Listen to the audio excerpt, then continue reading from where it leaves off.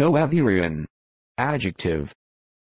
1. Algebra, of a ring in which any ascending chain of ideals eventually starts repeating. 2. Algebra, of a module in which any ascending chain of submodules eventually starts repeating.